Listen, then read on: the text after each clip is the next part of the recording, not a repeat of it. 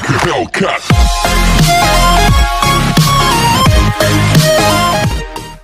Ang J1407B isinalarawan bilang ang Super Saturn na bahanga ng J1407B ang mga sayantipiko sa ganda at laki nito. Matatagpuan apat na raan at apat na light years mula sa Earth. Ang planetang ito ay apat na beses na mas malaki sa Jupiter at tatlumpu at pitong singsing na nakapalibot dito ay may lawak na isang daan dalawampung milyong kilometro. Tinatayang dalawang daang beses na mas malaki ito kung ikukumpara sa singsing ng Saturn. Sinasabi pa ng mga sayantipiko na ang singsing na ito ay mga buwan na dahan-dahang mabubuo sa katagalan ng panahon.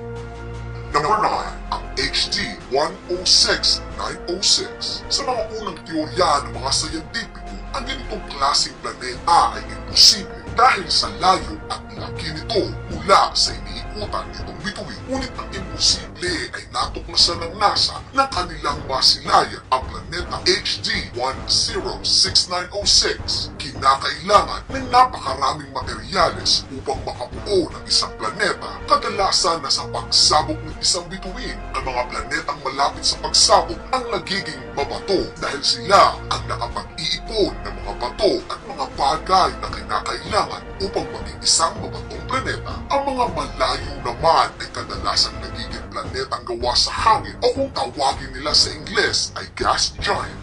Kaya naman ng kanilang matagpuan ang planetang HG 106906 ay nagulantang sila sa laki at layo nito mula sa kanyang iniikutang bituin anim na raan at limampung beses na mas malayo ito kung ikukumpara sa ating Earth at labing isang beses na mas malaki kung ikukumpara sa Jupiter. Sa ganitong distansya ay aakalain mo na ang planetang ito ay katulad ng mga planeta na malayo sa ating bituin. Katulad ng Jupiter na balot ng yelo, ang naitala namang temperatura sa planetang HG 106906 ay 1,500 degrees Celsius. Ang planetang ito ay tinatayang labing tatlong milyong taong gulang lamang tila isang sanggol kung ikukumpara sa universe na tinataya naman na may edad na labing apat na milyong taon.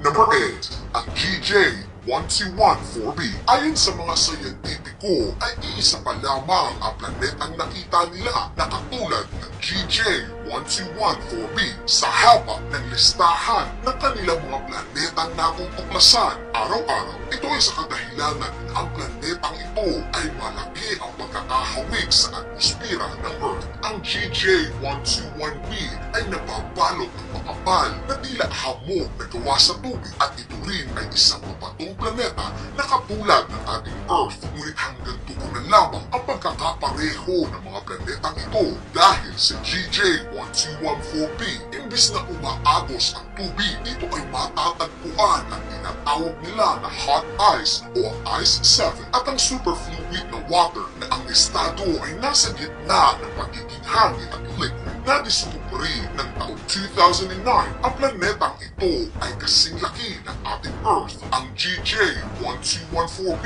ay talaga namang isang kakaibang planeta.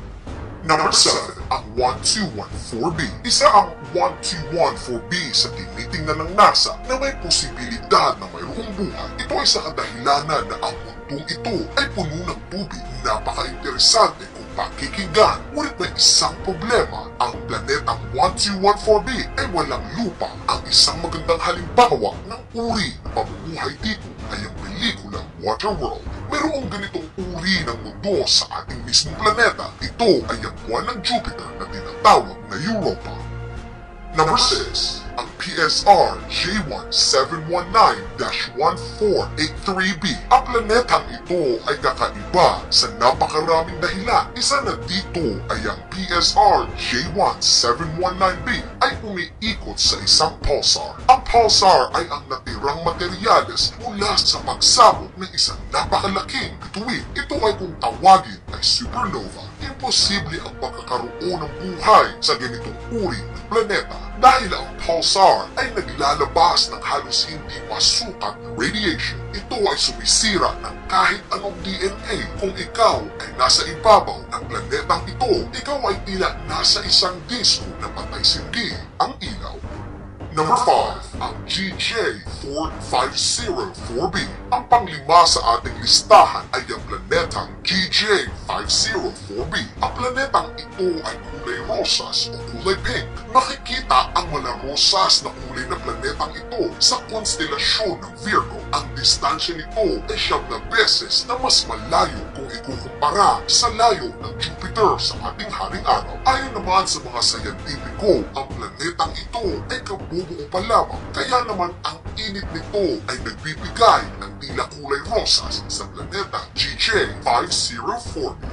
Number 4, ang Ogle 2005 BLG 390 LB. Matapos maglakbay ng 20,000 light years, ay ating mararating ang konstelasyon ng Sagittarius. Ang uri ng bituin ito ay tinatawag nilang Red Dwarf. Ang ganitong uri ng bituin ay tila malamlamang ilaw kung ikukumpara sa ating haring araw. At ang planeta na dito ay umiikot ay walang iba kundi ang Ogle 2005 BLG 390 LB na itanghal na ang pinakamalamig na planeta sa buong universe. Ang temperatura dito araw-araw ay negative 220 Celsius na sa napakakapal na yelo ang kabuuan ng Ogle 2005 BLG 390 LB. Nakita rin dito ay ang matatayog na bundok na nawa sa yelo ayon sa mga sayantipiko ay malamang na walang buhay ang planetang ito marahil na rin siguro dahil sa napakalamig ng temperatura dito.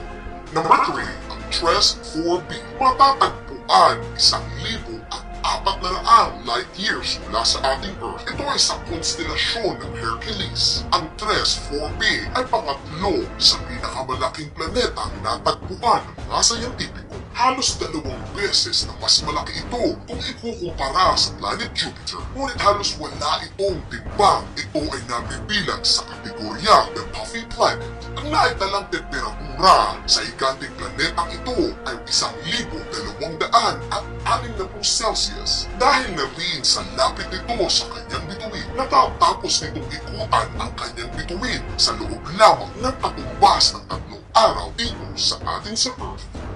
Number 2, ang Gliese 667cc. Isa sa tinitingnan ng NASA sa potensyal na pagkakaroon ng buhay ay ang Gliese 667cc na sa kategorya na Super Earth. Matatagpuan dalawang at dalawang light years mula sa atin dito sa Earth. Ito ay sa konstelasyon ng Scorpius at halos limang beses ng mas malaki kung ikukumpara sa ating Earth. Tatlo ang iniikutan nitong bituin, ngunit ang mga ito ay di hamak na mas maliit kung ikukumpara sa ating haring araw. Number 1, ang HD 8551-2b. Ang planetang ito ay isa sa pinakamalakas na kandidato sa pagkakaroon ng buhay sa labas ng ating solar system. Ayon sa NASA, ang HD 85512b ay matatagpuan sa habitable zone o yung lugar kung saan hindi masyadong mainit at hindi rin malamig. Tamang-tama lang para magkaroon ng tubig. Ang tubig ay ang siyang pinanggagalingan ng buhay na katulad dito sa atin sa Earth. Natuklasan ng taong 2011 ng mga astronomer sa bansang Switzerland. Ang planetang ito ay tatlo at kalahating beses na mas malaki kung ikukumpara sa ating Earth. Ito ay matatagpuan sa konstelasyon ng Vela. Patuloy na inaalam ng NASA kung ano ang klase ng klima sa planetang ito. Ngunit sa kasawiang palad sa teknolohiyang mayroon tayo ngayon, ayon sa NASA, kung tayo ay magpapadala ng probe o yung robot upang magsiyasat katulad ng ipinadala sa Mars, ay aabutin ito ng halos isang daan limang at pitong daang libong taon bago pa ito ay makarating.